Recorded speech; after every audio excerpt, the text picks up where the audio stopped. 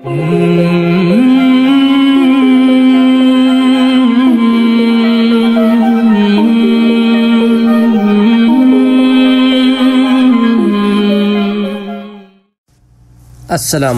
वरहमतुल्लाहि वबरकातुहू आज एक और बड़े इंपॉर्टेंट और सेंसिटिव टॉपिक पर बात करते हैं, जिसके बारे में उमूमन आम तौर पर कम बात की जाती है। It's one of those taboos in our society लेकिन द प्रॉब्लम इज़ द मसला ये है इसका कि ये एक सोशल माशरती मसला है, जो कई सालों से हमारे मुल्क के नौजवान भी और ज़रा बड़ी उम्र वाले भी फेस कर रहे हैं। और ये मसला आपको बड़ी हैरानी होगी कि सिर्फ़ मर्दों तक महदूद नहीं है बाज़ ख़वातीन भी इस प्रॉब्लम का शिकार हैं। जी, मैं बात कर रहा हूँ मर्दों की मर्दों की ज़बान में तो उसे मैस्टरबेशन या मुश्त जनी कहते हैं, लेकिन ख़वातीन में भी इस चीज़ का पाया जाना जो है वो सामने आता है।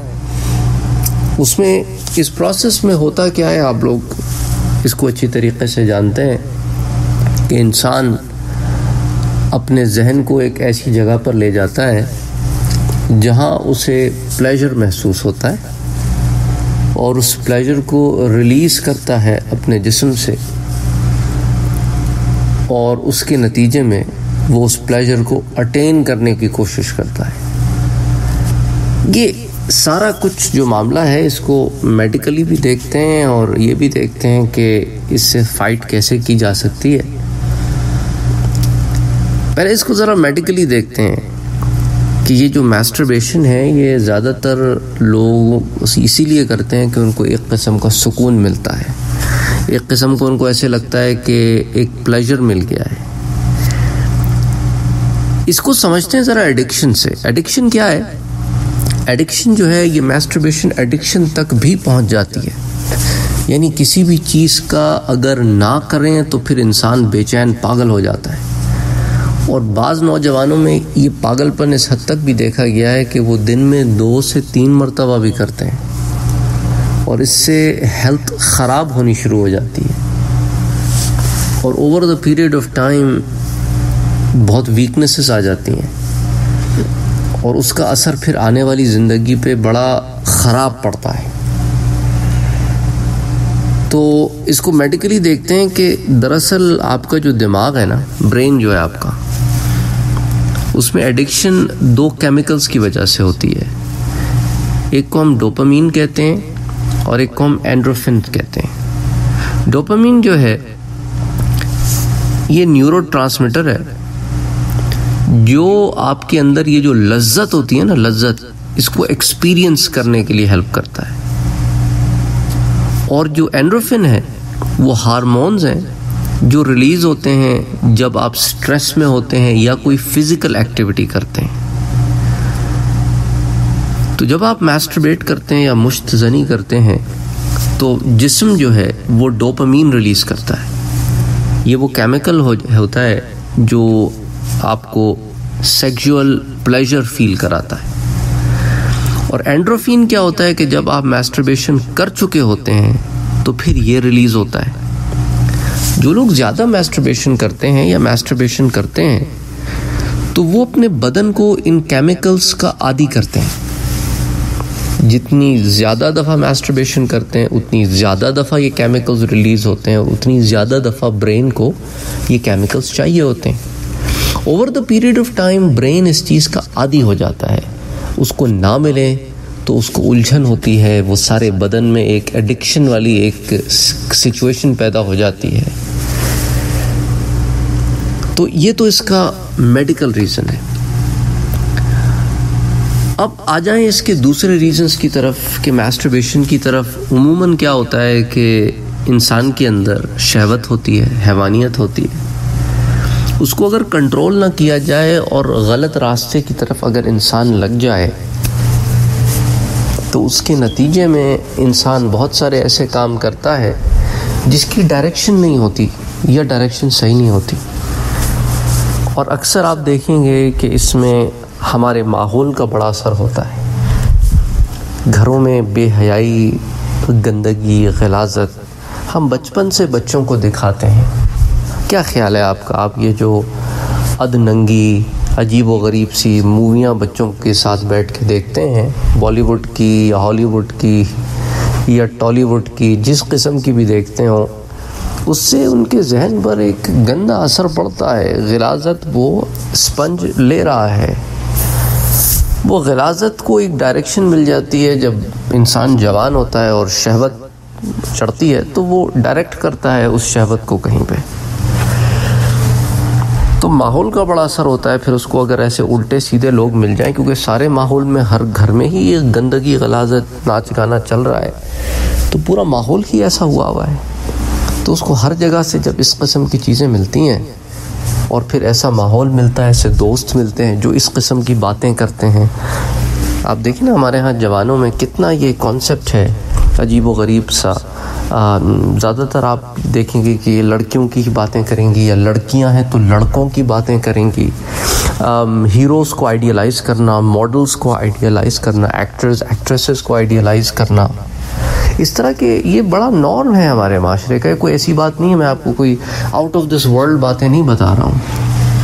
ये वो बता रहा हूँ कि हमने over the period of time अपने आप को मेंटली कहाँ तक लेके आ गए कि उसका नतीजा है कि ये जो हवस है, हैवानियत है, ये कहीं ना कहीं तो निकलेगी, क्योंकि माहौल सारा हैवानियत का है। अच्छा अब उम्र के एक हिस्से में आके लोग इस चीज़ को रियलाइज़ करते हैं कि ये मैंने क्या किया?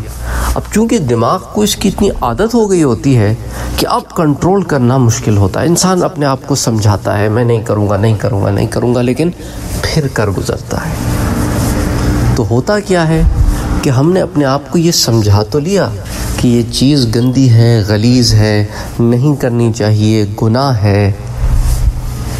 पर उसकी रोकथाम के लिए हमने एम्पल एफर्ट्स नहीं किए इनफ एफर्ट्स नहीं किए।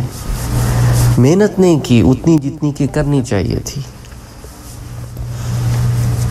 क्या हमने अपनी सोबतों को बदल लिया, अपनी संगतों को बदल लिया? जो हम देखते हैं वो बदल लिया, जो हम सुनते हैं वो बदल लिया। हमने यार दोस्तों की महफिलें बदल ली, बातें बदल ली, या वो सब वैसे ही चल रहा है? पहली नज़र के बाद दूसरी नज़र भी मार लेते हैं। फिर बाद में, अकेले में, तन्हाई में परेशान होते रहते हैं। फिर ये भी बड़ा मसला है कि बेरोज़गारी की वजह से बहुत सारे नौजवान जो है, वो शादी भी नहीं करते या नहीं कर पाते। लेकिन साथ साथ ये प्रॉब्लम भी लगा हुआ है कि अब क्या करें इसमें। तो इसमें बहुत सारी चीज़ों को आपको अपने साथ लेके चलना है। उसकी वजह यह है कि इस माहौल ने हमें कई एंगल से ख़राब किया है। तो जिन जिन रास्तों से खराबियाँ आ रही हैं, उन रास्तों पर आपको गेट्स लगाने पड़ेंगे। आप खुद जानते हैं कि क्या चीज़ें आपको ट्रिगर करती हैं। जो चीज़ें आपको ट्रिगर करती हैं, उन चीज़ों पर गेट्स लगा दें, उन रास्तों पे ना जाया करें। एक तो ये। दूसरा ये कि ज़्यादातर ये चीज़ें पता है कब होती हैं? जब इंसान मेंटली फारिग होता है। ये मेंटली फारिग जब होता है ना आदमी, तब इस कस्म की चीज़ों में जाता है। तो एक तो ये कि अपने आप को मेंटली फारिग ना रखें। अब लोग कहते हैं कि भाई मैं बेरोज़गार आदमी हूँ। मैं मेंटली फारिग ना रहूँ, मैं तो फारिग ही हूँ। मैं तो फारिग ही हूँ। लेकिन ये आप सोच रहे हैं, अगर आप चाहें तो इस वक्त को आप किसी डायरेक्शन में लगा सकते हैं। अगर आप किसी तालीमी इदारे में हैं, मिसाल के तौर पे आप किसी स्कूल सिस्टम का हिस्सा हैं तो अपने दिमाग को लड़कियों या लड़कों में लगाने के बजाय, लड़कियाँ हैं तो लड़कों में लगाने के बजाय या लड़के हैं तो लड़कियों में लगाने के बजाय अपनी तालीम पर कंसंट्रेट करें। एजुकेशन पर कंसंट्रेट करें। अपनी फ़िज़िकल एक्टिविटीज़ को बढ़ाएँ। क्योंकि होता क्या है कि आपको अपने दिमाग को प्लेजर की डायरेक्शन चेंज करनी है। क्योंकि आपको प्लेजर तो चाहिए, हर इंसान को प्लेजर तो चाहिए मेंटल प्लेजर चाहिए उसको, नहीं तो वो स्ट्रेस का शिकार हो जाएगा। और डिप्रेशन का शिकार हो जाएगा। तो उसको कुछ ना कुछ तरीके से प्लेजर स्टिमुलेट करते रहना चाहिए। उसको करते रहने का तरीका क्या है? आपको अपने आप को डायरेक्ट करना पड़ेगा। किसी ऐसी एक्टिविटी की तरफ़ जिसमें आपको इंटरेस्ट है और जो एक्टिविटी भी सही है, और उसका बेहतरीन एग्ज़ाम्पल जो है वो ज़्यादातर अगर आप साइकोलॉजिस्ट या फिर आप डॉक्टर्स को अप्रोच करें तो वो आपको यही कहते हैं कि कोई ऐसी एक्टिविटी ले लो जिससे तुम्हें मेंटल प्लेजर मिले और उसमें एक बहुत अहम किरदार फ़िज़िकल एक्टिविटी का होता है। मैं आपको एक छोटी सी एग्जांपल देता हूँ उसकी। एक आदमी दिन भर काम करता है, मेहनत, मुशक्क़त करता है, थक जाता है। At the end of the day वो नमाज़ से फारिग होके इशा की, उसका बस नहीं चल रहा होता कि मैं कब सो जाऊँ। उसको इतनी फुर्सत ही नहीं होती कि ये गंद बला में मैं जाऊँ। क्यों?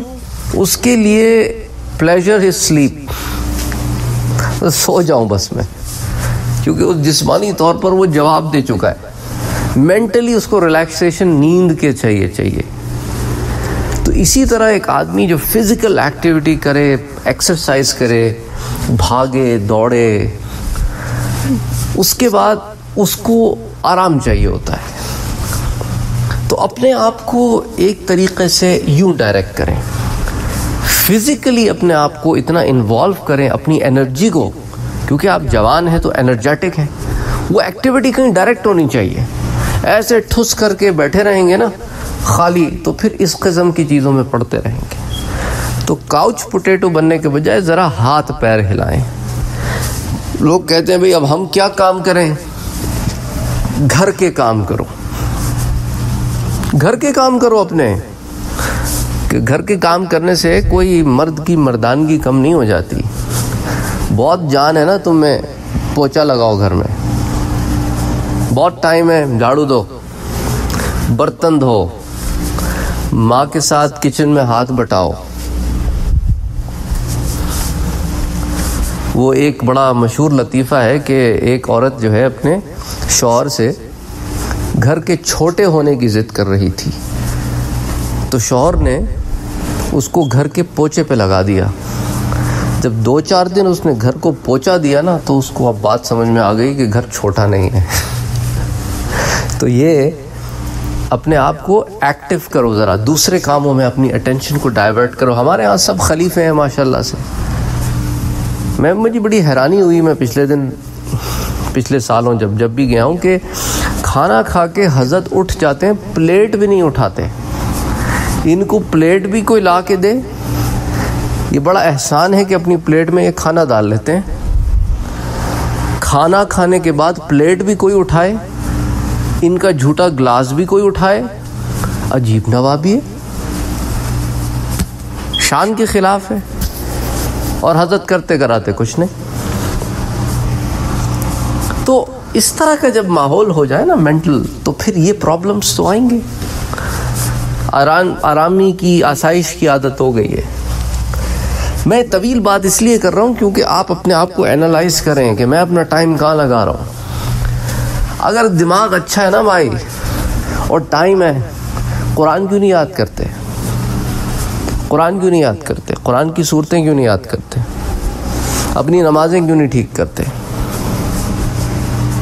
अच्छा दूसरी बात, अपनी ये जो, अब तो बड़ा आसान हो गया ना अच्छी अच्छी सोबतें हासिल करना। ये तो तुम्हारे हाथ में है यूट्यूब अच्छी सोबतें हासिल करो। अच्छे लोगों की संगतें अच्छा इल्म हासिल करो। दूसरी बात, अपने अंदर ये एहसास पैदा करो। ये एहसास पैदा करो कि मैंने अपने रब को एक दिन जवाब देना है। बस। और ये कोई लंबी चौड़ी बात नहीं है। तुम रोज़ नमाज़ में पढ़ते हो। क्या पढ़ते हो? मालिक यौमुद्दीन। लेन देन के दिन का मालिक। ये लेन देन क्या है? अमाल अमाल के हिसाब से उधर या जहन्नुम की देन है या जन्नत की देन है। तो अपने मालिक से क्या सौदा कर रहे हो? क्योंकि वो तो सौदा कर चुका है।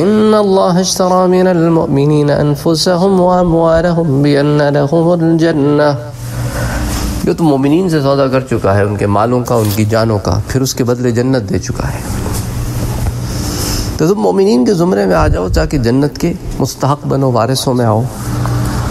अपने अंदर तकवे को, परहेजगारी को, इस एहसास को जगाओ के जब कभी गुनाह का एहसास आए ना तो चल यार, कर तो लेते हैं, रब को के जवाब देंगे?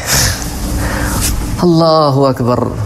कब्र में, हशर में, एक लम्हे को बस सोच लिया करो। बस इतना सोच लिया करो कि ये जो गुनाह मैं आज कर रहा हूँ ना, छुप के ये कल को खुल गया ना, क्योंकि उस दिन तो दफ्तर खुलेगा।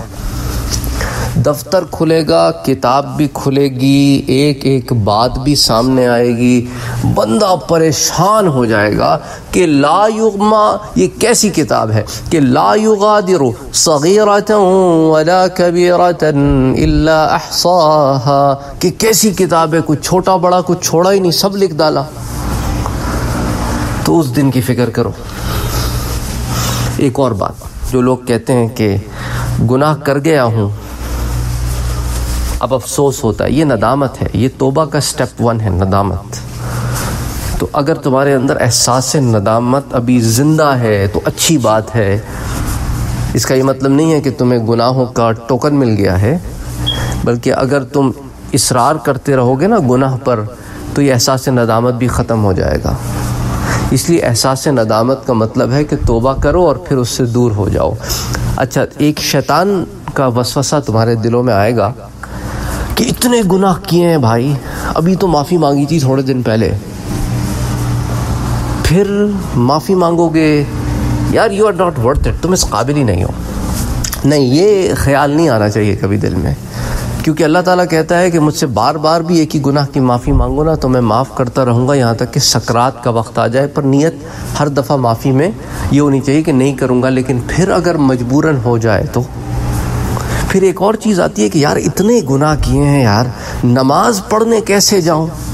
क्या तू इतना बेगैरत, इतना ढीठ है कि नमाज़ पढ़ने चला जाता है? ये वो गालिब वाली बात है कि काबे किस मुँह से जाओगे गालिब? लेकिन अगला मिसरा भी गालिब नहीं कहा, शर्म तुमको मगर नहीं आती। जब अपने रब के आगे जा रहे हो तो इसका मतलब उससे जुड़ने जा रहे हो। शैतान ये एहसास पैदा करके तुम्हें अपने रब से दूर कर रहा होता है कि यार, नमाज़ पढ़ने कैसे जाओगे? तुमने तो अभी इतना बड़ा गुनाह किया है।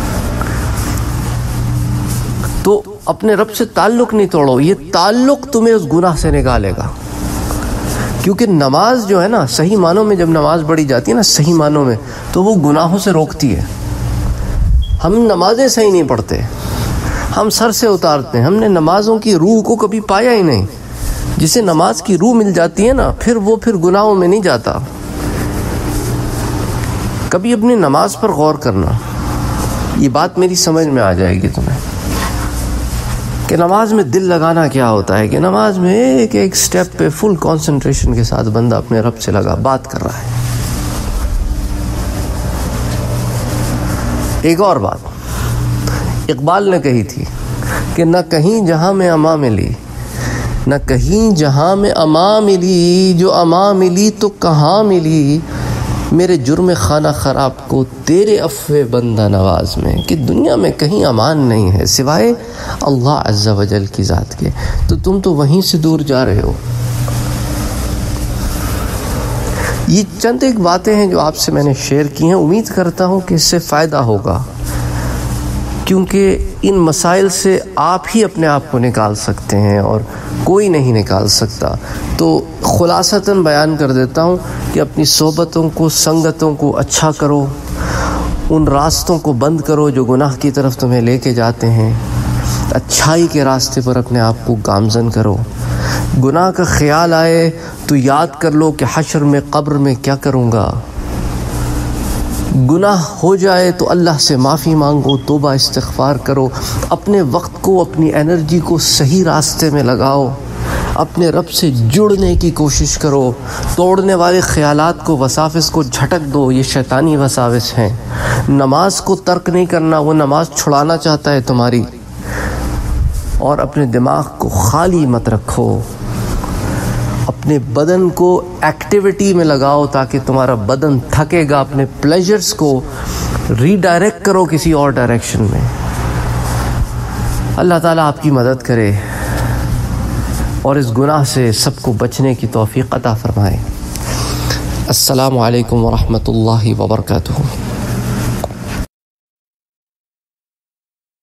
अगर आपने अभी तक हमारे चैनल को सब्सक्राइब नहीं किया है तो सब्सक्राइब का बटन दबाएँ, बेल के आइकॉन को प्रेस करें ताकि आपको रेगुलर नोटिफिकेशन अपडेट मिल सके और आप हमें हमारे लाइव सेशंस में भी ज्वाइन कर सकें। वीडियो पसंद आने की सूरत में लाइक शेयर और कमेंट करना ना भूलें।